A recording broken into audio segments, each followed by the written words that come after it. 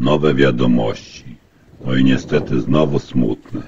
W środę rano 11 stycznia powiat gostyński obiła tragiczna wiadomość o nagłej śmierci Alfreda Siamy, przewodniczącego Rady Powiatu Gostyńskiego, człowieka oddanego społeczeństwu, życzliwego nauczyciela, przyjaciela i mentora.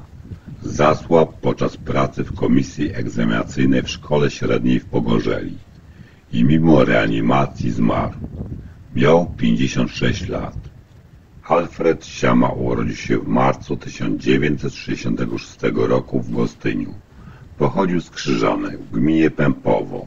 Z wykształcenia był doktorem nauk humanistycznych na Uniwersytecie Adama Mickiewicza w Poznaniu. Wieloletni nauczyciel języka polskiego, od początku związany z zespołem szkół ogólnokształcących i zawodowych imienia Ziemi Pogorzelskiej. To na razie wszystko. Pozdrawiam, Short Joker.